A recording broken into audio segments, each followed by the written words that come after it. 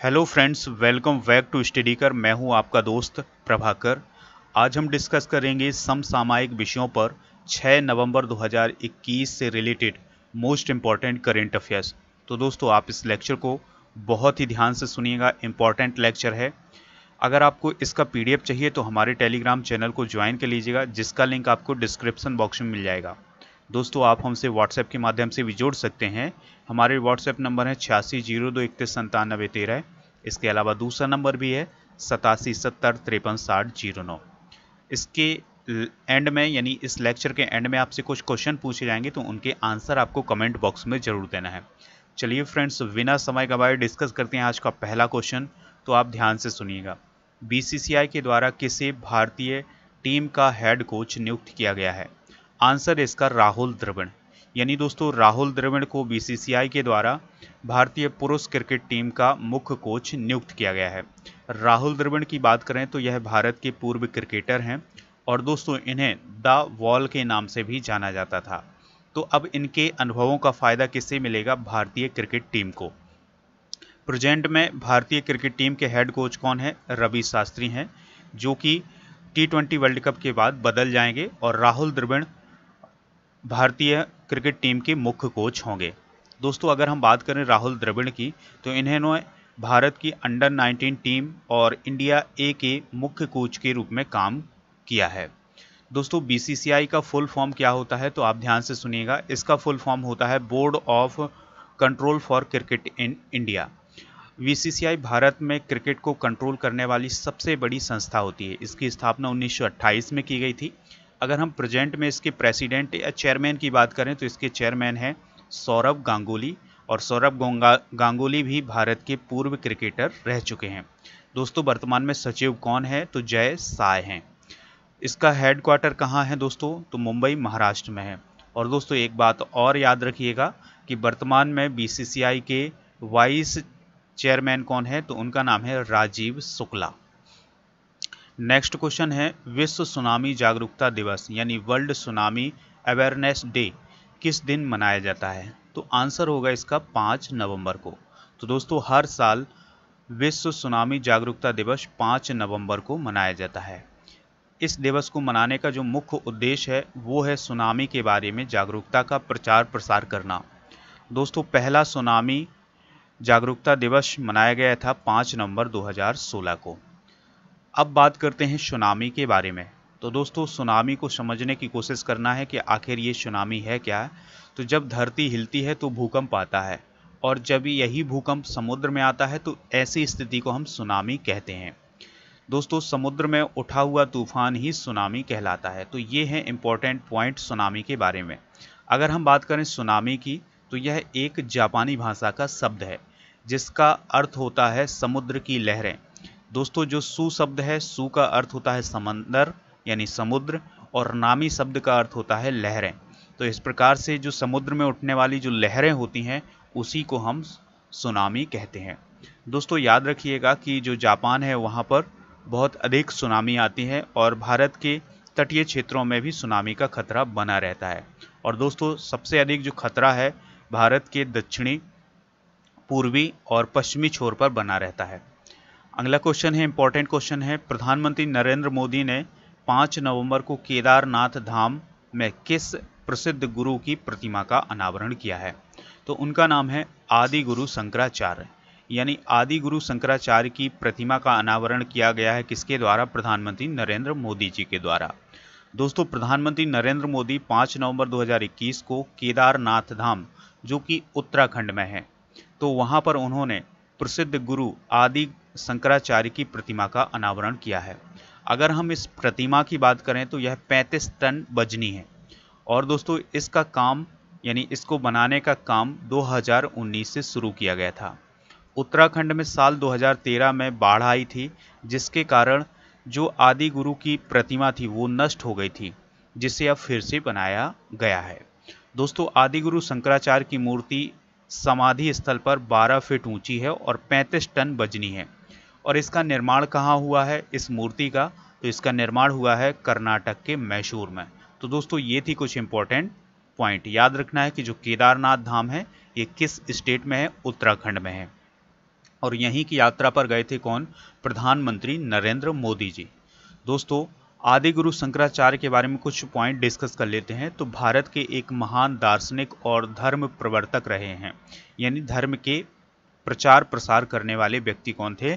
आदि गुरु शंकराचार्य। उन्होंने अद्वैत वेदांत और ठोस आधार प्रदान किया है। यानी जो अद्वैत वेदांत है, उसको एक ठोस आधार प्रदान किया है। इन्होंने भारतवर्ष में चार कोनों में चार मठों की स्थापना की, जो अभी तक बहुत प्रसिद्ध और पवित्र माने जाते हैं और जिन पर आसीन सन्यासी जो होते हैं, वो शंकराचार्य कहलाते हैं।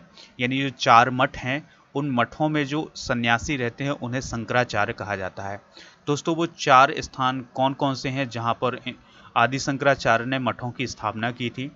तो पहला है ज्योतिष पीठ बद्रिकाश्रम और दूसरा है श्रृंगेरी पीठ, तीसरा है द्वारिका शारदा पीठ, और चौथा है पुरी गोवर्धन पीठ। तो दोस्तों, ये चार पीठ हैं या चार मठ हैं जिनकी स्थापना आदि शंकराचार्य के द्वारा की गई थी। अगला क्वेश्चन है इंपॉर्टेंट क्वेश्चन है, स्विट्जरलैंड में भारत का राजदूत किसे नियुक्त किया गया है? तो उनका नाम है संजय भट्टाचार्य। दोस्तों, संजय भट्टाचार्य को 3 नवंबर 2021 को स्विट्जरलैंड में भारत का राजदूत नियुक्त किया गया है। दोस्तों, विदेश मंत्रालय ने यह जानकारी दी है कि भट्टाचार्य अभी मंत्रालय में सेक्रेटरी के पद पर काम कर रहे हैं, लेकिन अब वो स्विट्जरलैंड के राजदूत के रूप में काम करेंगे। दोस्तों, संजय भट्टाचार्य उन्नीस सौ सतासी बैच के आईएफएस ऑफिसर हैं। दोस्तों, याद रखना है कि स्विट्जरलैंड जो है, वो यूरोप महाद्वीप का एक देश है और उसकी राजधानी बर्न है। क्या है दोस्तों? बर्न। जो वर्न है, वो स्विट्जरलैंड की राजधानी है। अगला क्वेश्चन है, हाल ही में उत्तर प्रदेश के अयोध्या में दीपोत्सव कार्यक्रम में कितने दीप जलाकर के एक विश्व रिकॉर्ड बनाया गया है? आंसर इसका 12 लाख दिए। यानी दोस्तों, उत्तर प्रदेश में अयोध्या में 12 लाख दिए जलाने का एक रिकॉर्ड बनाया गया है, जिसमें लगभग छत्तीस हज़ार लीटर सरसों के तेल का इस्तेमाल किया गया है। इसमें राम की पैड़ी पर 9 लाख और अयोध्या के बाकी हिस्सों में 3 लाख दीपक जलाए गए थे। इसके अलावा दोस्तों, जो राम जन्मभूमि परिषद है, वहाँ पर इक्यावन हज़ार दिए जलाए गए थे। दोस्तों 12 लाख दिए जलाने का यह अब तक का Guinness book of world record है। तो याद रखना है कि अयोध्या में कितने लाख दिए जलाए गए हैं 12 लाख दिए जलाए गए हैं। नेक्स्ट क्वेश्चन है इंपॉर्टेंट क्वेश्चन है वेस्ट इंडीज के किस खिलाड़ी ने टी ट्वेंटी वर्ल्ड कप के बाद इंटरनेशनल क्रिकेट से रिटायरमेंट लेने, यानी संन्यास लेने की घोषणा की है? आंसर है इसका डोइन ब्रावो तो दोस्तों, अब डोइन ब्रावो वेस्ट इंडीज की टीम के लिए खेलते नज़र नहीं आएँगे, क्योंकि उन्होंने इंटरनेशनल क्रिकेट से रिटायरमेंट की घोषणा कर दी है। दोस्तों, अभी हाल ही में यूएई में टी ट्वेंटी वर्ल्ड कप चल रहा है, जिसमें वेस्ट इंडीज को श्रीलंका के साथ हार मिली। जिसके बाद इन्होंने, यानी डोइन ब्रावो ने, अंतर्राष्ट्रीय क्रिकेट से रिटायरमेंट का ऐलान कर दिया। दोस्तों ब्रावो ने वेस्टइंडीज के लिए 90 टी मैचों में 78 विकेट लिए हैं और 1000 से ज़्यादा रन बनाए हैं। साल 2004 में अपने इंटरनेशनल कैरियर की शुरुआत करने वाले ब्रावो ने दो मैच खेले हैं।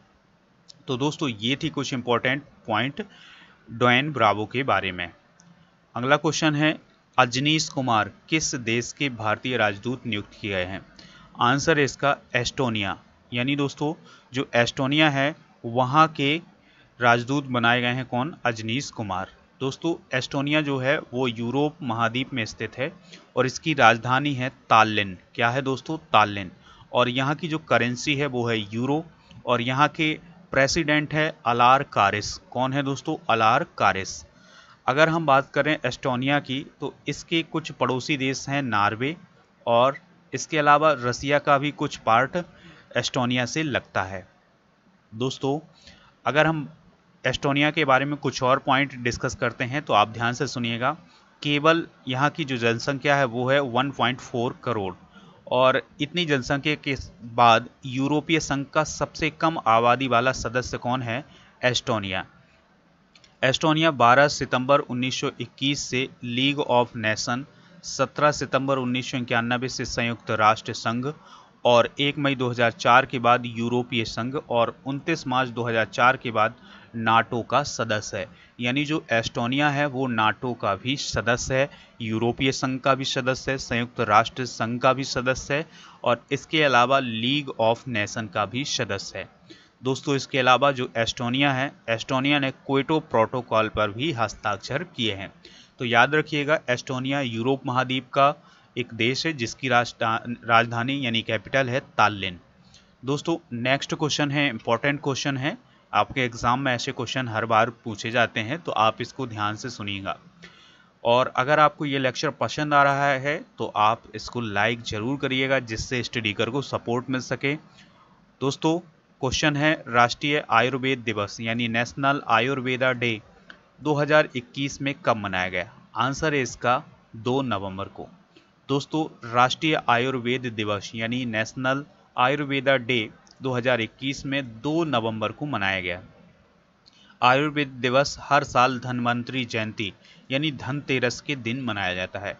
यानी जिस दिन धनतेरस का त्यौहार होता है, उसी दिन ही यह दिवस मनाया जाता है। यानी नेशनल आयुर्वेदा डे धनतेरस के दिन ही मनाया जाता है। तो दोस्तों, इस प्रकार से हम कह सकते हैं कि जो राष्ट्रीय आयुर्वेद दिवस है, ये हर साल बदलता रहता है, क्योंकि धनतेरस अब पता नहीं कि अगले साल किस तारीख को पड़ती है तो इस प्रकार से उसकी डेट भी बदल जाएगी। तो इस बार 2 नवंबर को नेशनल आयुर्वेदा डे मनाया गया है। और दोस्तों, ये जो राष्ट्रीय आयुर्वेद दिवस है, ये किसकी याद में मनाया जाता है? तो भगवान धनवंतरी की याद में मनाया जाता है, जिन्हें आयुर्वेद और आरोग्य का देवता माना जाता है। दोस्तों, इस दिन को मनाने की शुरुआत हुई थी 2016 से, यानी नेशनल आयुर्वेदा डे कब से मनाया जा रहा है 2016 से।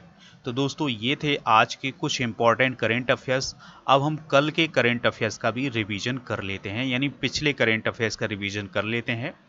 तो पहला क्वेश्चन है, पंजाब के पूर्व मुख्यमंत्री कैप्टन अमरिंदर सिंह ने कांग्रेस पार्टी से इस्तीफा दे करके अपनी किस पार्टी का ऐलान किया है? तो उस पार्टी का नाम है पंजाब लोक कांग्रेस पार्टी।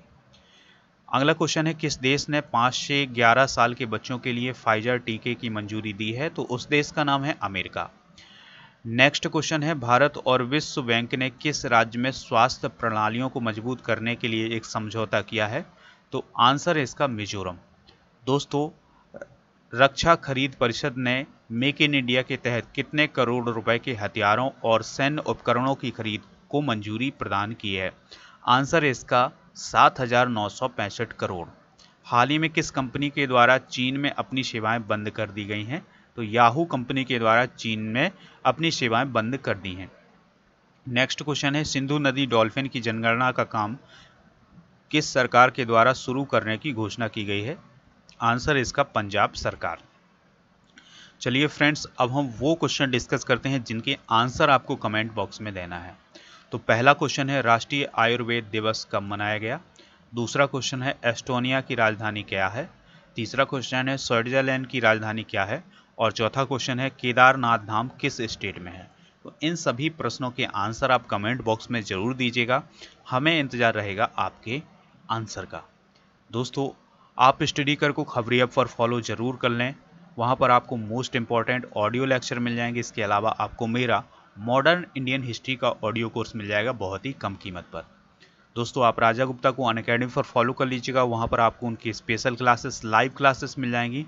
और इसके अलावा अगर आप राजा गुप्ता के माध्यम से कोई भी कोर्स परचेज करना चाहते हैं तो उसके लिए एक रेफरल कोड यूज़ करिएगा, राजा नंबर वन क्या है रेफरल कोड दोस्तों? राजा नंबर वन जैसे आप ये रेफरल कोड यूज़ करेंगे, आपको उस कोर्स में छूट मिल जाएगी।